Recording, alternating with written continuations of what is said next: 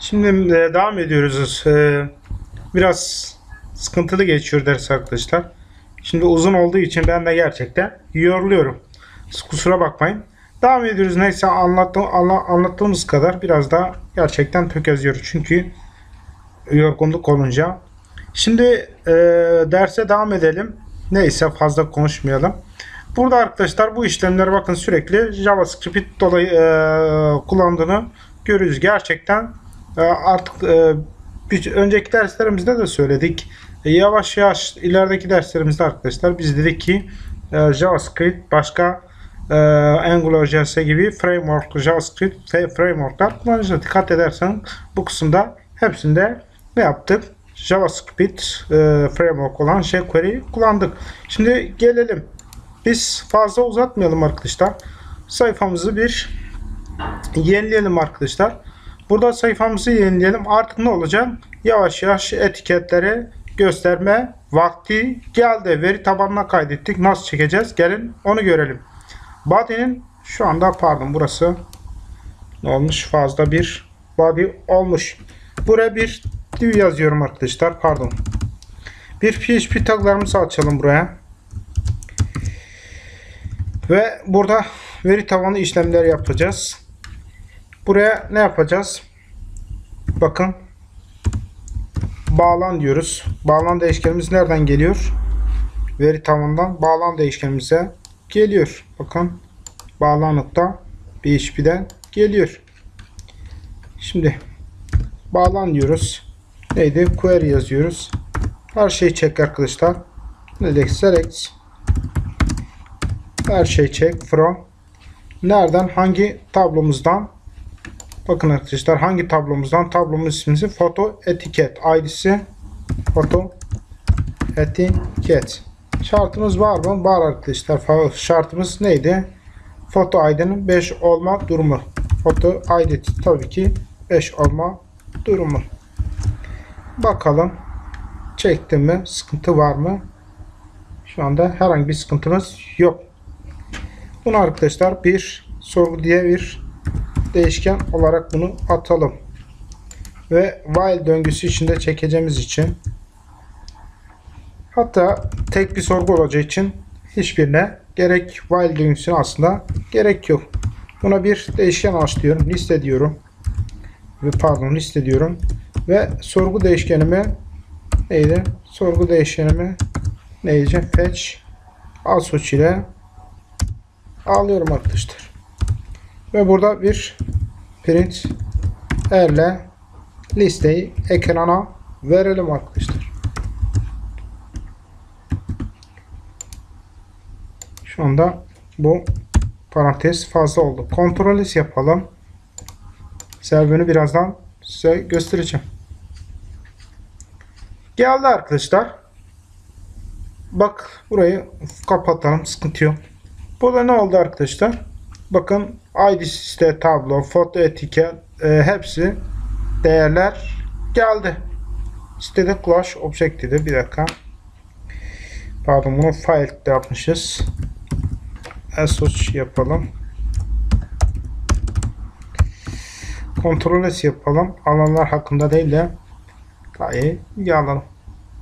Bakın arkadaşlar isim Node.js client pardon bunda bay ile alacaktık. Neden? Çünkü sadece bir kolon olmadığı için. Onu karıştırdık. Buradan neydi? Artık veri taban işlemlerin neyin nereden geldiğini soruyorsanız arkadaşlar öbür derslere gerçekten bir geriki derslere gidin. Çünkü baya demek ki bir geridesiniz arkadaşlar. Şu bir püre yapalım. Bunda bir şu anda bir püre ile kapatalım. Kontrol yapalım. Ona göre yorumlayalım. Geldi arkadaşlar. Bir ID'si var. Bir ID isim sol üst foto ID. Tamamdır. Şimdi buraya geldik arkadaşlar. Bakın print eğerin yerine o orada kalsın. Burada PHP taglarını neydi? Kapatıp neydi? Tekrar açıyoruz.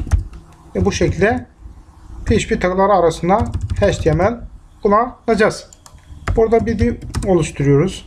Burada class'ına bakın şu anda ben tag diye bir class yazıyorum. Ve buraya sadece şu anda boş olsun. Geliyoruz. Sil kısmına bir tag class'ı oluşturalım. Neydi? Pozisyon arkadaşlar. Ne olsun? Absolute olsun. Kesinlikle olsun. Background color olarak arkadaşlar. Şöyle bir renk verelim. Şöyle.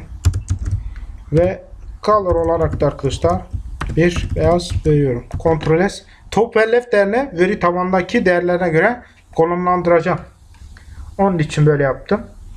Buradan arkadaşlar stil kısmına geliyorum. Stil taglarımı açıyorum. Left değerine burada ne yapacağım? He, PHP ile yazdıracağım. Veri tabandan gelen değerimle yazdıracağım. Ee, top değerini de neydi? Veri tabandan gelen değeri yazdıracağım. Bir de arkadaşlar buraya isim olarak hangi isimse onu yazdıracağız buraya. Başka herhalde bir şey yok. Giriyoruz arkadaşlar. Liste değerinin nesine burada left değeri sol artı 100 diyorum arkadaşlar. Pardon şuraya. Bakın artı 100. Buraya ne yazıyorum arkadaşlar? Piksel diyorum. 100, 100'ü neden yaptım? Bakın 100 buradan geliyor arkadaşlar. Resim soldan ve sağdan değeri. Şimdi bir de top değer arkadaşlar. Neydi? Listenin neydi? Top üst değerinden alacağız. Artı 100 pardon artı 100 şuraya noktalı virgüllere yapmadık. Buraya da neydi? Piksel yazalım. Ctrl S yaptık. Kaydedelim bakalım arkadaşlar.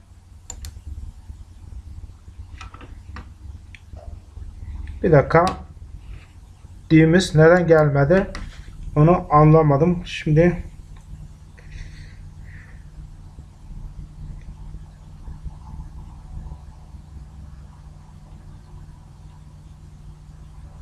div class eğer bir dakika arkadaşlar.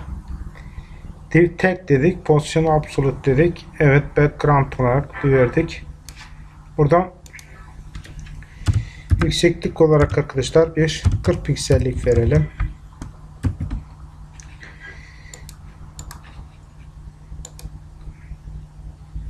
Bir ekrana basmadı. Sebep bakalım sebep neymiş ona görelim. Şuradan neydi arkadaşlar? Sol üst bize lazım. Önemli olan bunlardı zaten.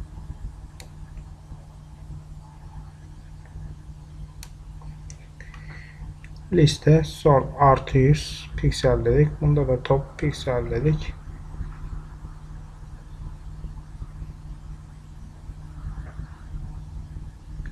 Şuraya arkadaşlar yanlış yazdık. Bunu şu şekilde kapatacağız.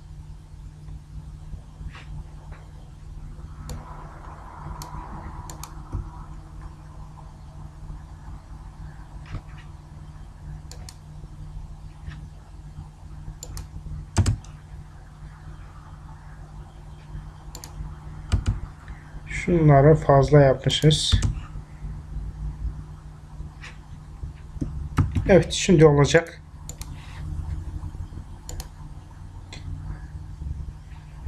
Burada bir hata var arkadaşlar. Gerçekten sebebi bir türlü anlaşılmıyor.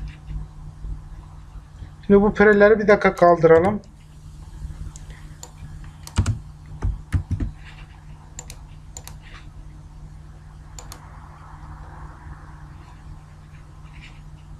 Tam niye olmadı arkadaşlar? Tekler. Pardon. Bu sebebi led ve top değerlerini arkadaşlar vermediğimizden dolayı. Bir bakalım. Normalde konumlandırması lazımdı. Yani konumlandırma bile yapmıyor. Bakalım.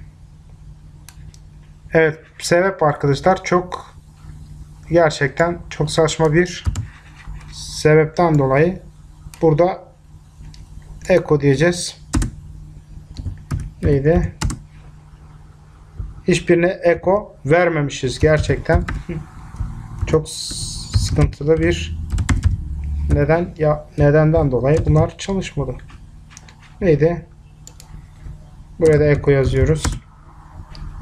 Buraya da Eko yazdık mı arkadaşlar? Sorun çözülmüş olur.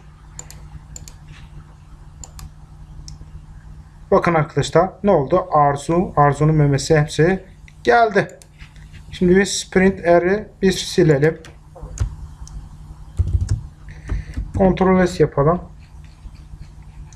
Burada tagler arkadaşlar opacity'si ne olsun? 0.2 olsun. Üstüne geldiğinde olsun. Üstüne geldiğinde var arkadaşlar. Olsun. Opacity'si olsun. Bir olsun. Bakalım sayfamızı bir yenileyelim. Şu anda hiç gözükmüyor. Evet. Bu kadar basit arkadaşlar. Şimdi ilk başta istiyorsanız arkadaşlar hepsinin olmasını isteyebilirsiniz. Bakın hiç gözükmemesini sağlayabiliriz. Display none diyerek Ctrl S yapalım. Şimdi buraya en aşağı tarafa arkadaşlar neydi resimden sonra Aa, resim neydi? Buton etki resmimiz neredeydi? Resim buradaydı arkadaşlar. Buraya bir BR atayıp buraya bir buton yazalım. ID'si etiket Ghostlar olsun arkadaşlar. Ve buraya etiket arkadaşlar göster. Neydi? Gizli olsun. Neydi? Ctrl S yapalım. Orada evet ID'si etiket göster. Şimdi buraya geliyoruz. Etiket göster diğimize tıklandığında arkadaşlar ne yapacağız? O işlemlerimizi yapalım. Şuraya neydi click olduğunda bir function yazacağız ve geri dönüş fonksiyonu tabi callback. Neydi? Tek class'ımız arkadaşlar toggle yap. Toggle ne demek gizli ise göster gösterse gizli yap demek istiyor arkadaşlar buraya kadar tamamdır sayfamızı yenileyelim Buton niye gelmedi? Buton buton gelmemesinin sebebi arkadaşlar resmimizin pozisyonun absolut olması. Buradan relatif yaparsak olacak. Ctrl S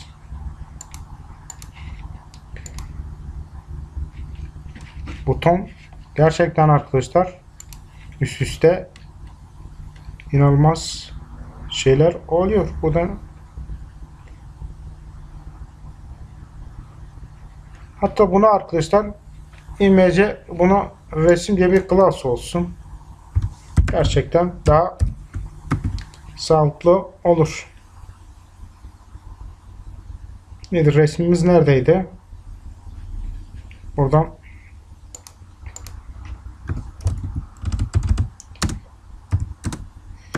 Burada class olarak resim atayalım.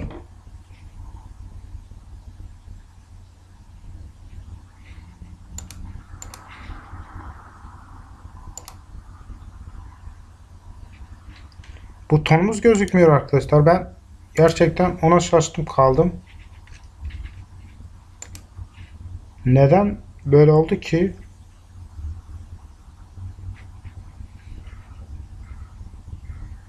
Evet buton pardon. Biz div etiketinin içine yanlış yazmışız. Biz onu dışarıya yazdıracaktık. Ctrl ve Ctrl S yapalım. Bu kadar basit. Bazen böyle basit hatalar yapıyoruz. Bakın etiket göster arkadaşlar gizlediğinde ne oldu? Üzerine bu şekilde görebiliyoruz. Örneğin burada bir etiketleme yapalım. Neyi? Buraya yapalım arkadaşlar. Bakın.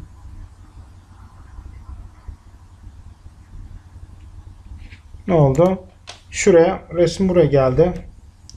Neydi? Alev'in neydi? Kolyesi diyelim. Etiketleme yapalım. Etiketleme başarılı. Sayfa bir yenileyelim.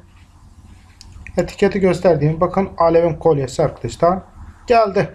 Bu şekilde bir etiketleme mantığı yapabiliriz arkadaşlar. Çok hatamız oldu. Ona eyvallah. Ama e, ders de uzun olduğu için gerçekten konsantre bozuluyor. Bu şekilde ne yapabiliriz arkadaşlar? Bir etiketleme mantığı yapabiliriz. Bakın buraya örneğin saçı etiketleyelim. Ne diyelim? Buraya seksi saçlar diyelim arkadaşlar. Neydi? Etiketle yapıyoruz. Etiketleme başarılı. Sayfamızı yeniden başlatalım. Etiketi göster diyoruz. Bakın üstüne gittiğimde etiket saçlar. Bakın. İsterseniz bunun opasitesine ne yapabiliriz? Biraz daha yükselterek şuraya 4 yapalım. Ctrl S yapalım.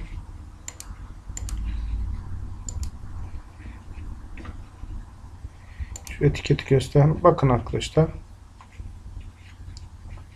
Bir etiketleme dersin daha sonuna geldik. En son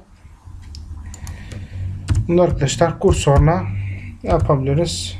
Default verebiliriz.